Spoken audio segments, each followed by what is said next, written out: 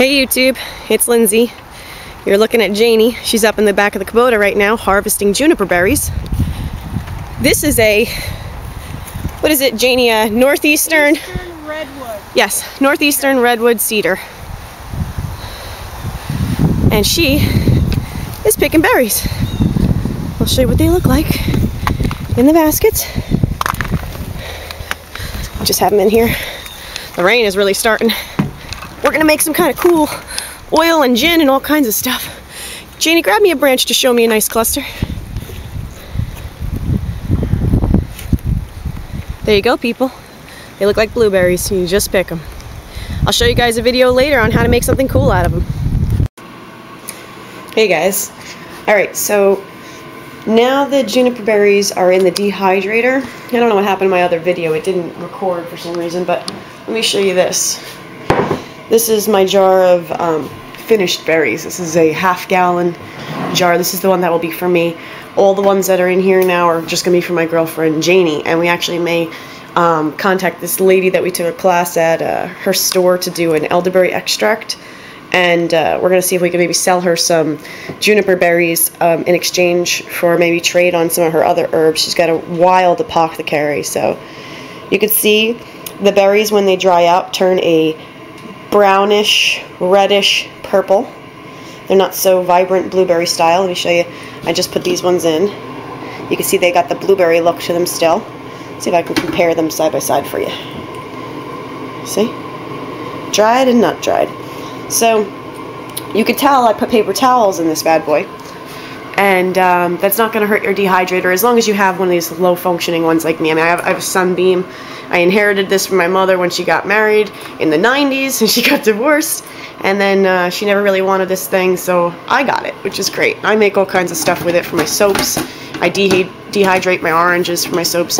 But anyway, what I do, if this thing would ever just sit right, there we go, um, is yesterday when I did these ones, it took me from 1.30 in the afternoon till midnight last night. It was a long time to dehydrate them, but they're perfectly dehydrated now. Um, what I like to do is I set a timer on my oven. You see there's one right now. We're gonna 51 minutes, but what I do is I do it for an hour.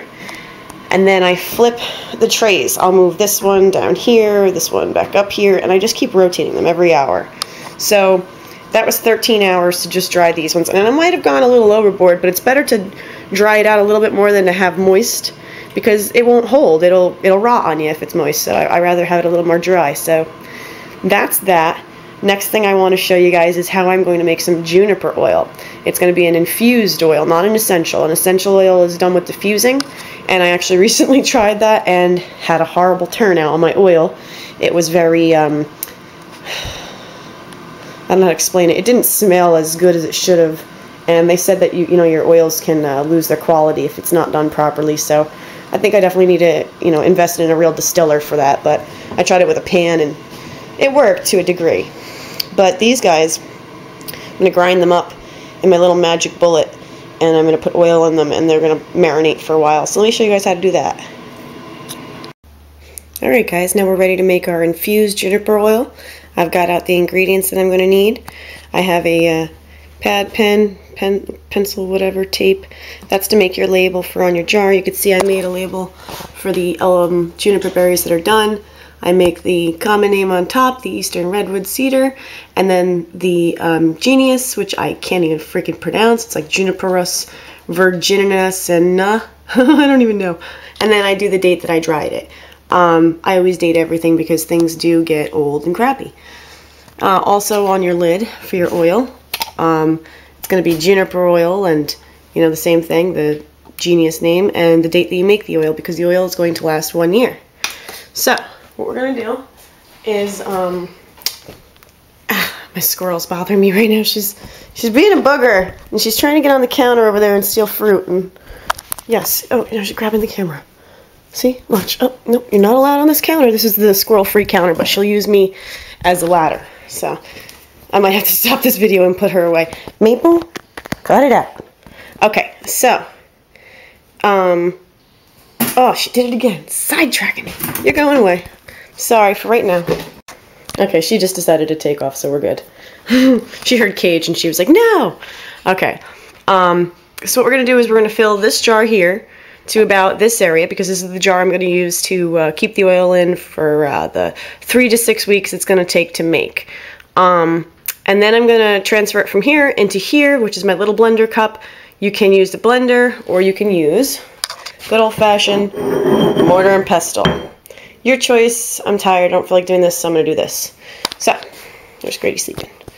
Here we go.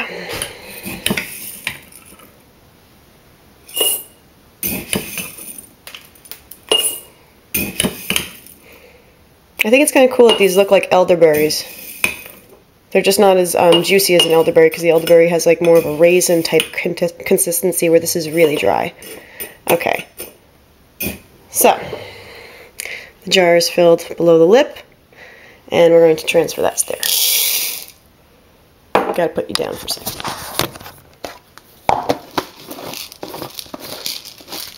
Okay, now we're ready to go over to the magic bullet.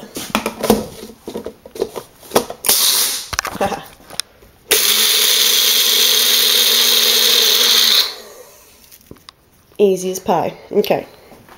So you could also use a food processor. That would work too. Put you down again.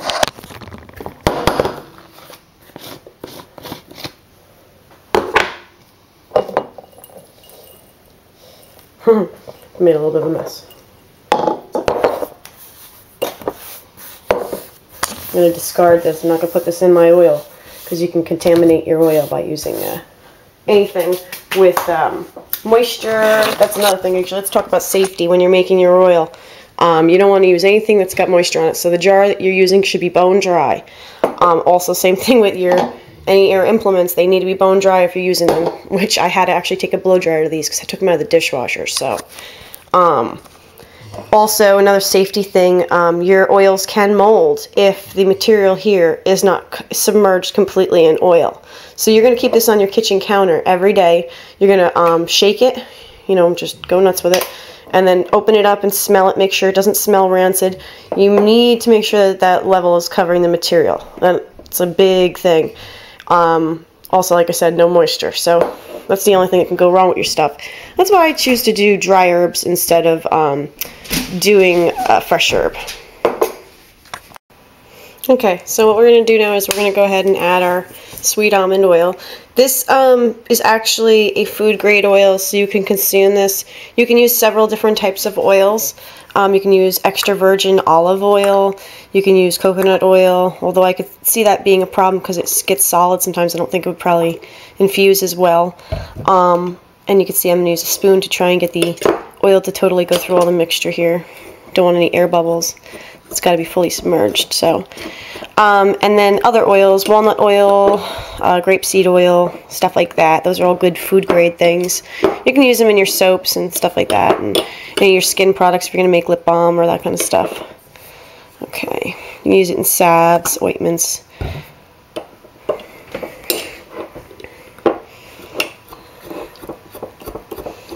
Also, um, something that's kind of cool about the uh, juniper berry is it can be used on game meat.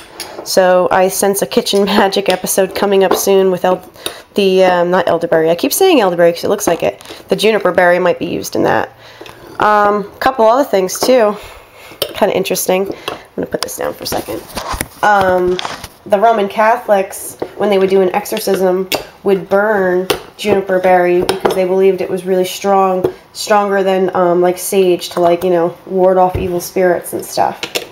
So if you have a haunted house, burn some uh, juniper berry. Also, I think they believed it was a good birth control method. I think it was used for birth control, but don't quote me because I don't want anybody getting pregnant thinking they could just take this. Also, precautions with taking juniper. Um, it's very good for uh, bladder and kidney function, but too much of it can be a bad thing. So it's better not to go overboard with this. Also, um, you can use it to make gin. Can't use the infused oil to make gin, but you can use the juniper berry. So now that's the oil. That's made. Um, let me show you. You can see the oil's above. It's like right about here. It's the oil level, but you're going to keep that above your material at all times. So just keep it on your counter. I'm going to keep it here at my other apothecary items and stuff like that. So Um, just shake it every day, smell it, check it. Um, and that's that for the infused oil. So, um, I guess look forward to a video, guys, about making gin, because that'll be my next thing. Ciao. Oh, and you know what? In three to six weeks, I'll show you how to process this, um, which we will have to strain off the uh, material with a cheesecloth and just reserve the oil, and then the oil will keep for a full year. So uh, I'll show you how to do that in a couple weeks when that's ready. Um, so, yeah. Other than that, I mean, the oil can be used in two weeks, the earliest. I know that it can be used for like a detoxifying massage, which is kind of cool. Um, and uh, when I told you guys that it's a cedar, just keep in mind that cedars are junipers, which is kind of weird. They're actually common um, bonsai trees are usually the uh, cedars, which is kind of cool. I mean, you can get, um, if you don't have a cedar in your yard, you can probably go to Lowe's or Home Depot and get a creeping juniper, and within a year you could have berries yourself. So, I mean, it's pretty attainable. It's kind of cool. Um, what else? Smells like pine. Yeah, you can make a tincture out of it, which is just, uh, you just take the berries, crush them up, like I did with the Magic Bullet, and then put rubbing alcohol in it and let that distill for a couple weeks, shaking it, um, and then strain the material off, same situation. And you can use that for bug bites. It reduces swelling, so anything where you would have a swelling situation, you can use it on the skin. So, another good use for it, and that's about it. Alright guys, I hope you enjoyed the video, and I'll talk to you soon.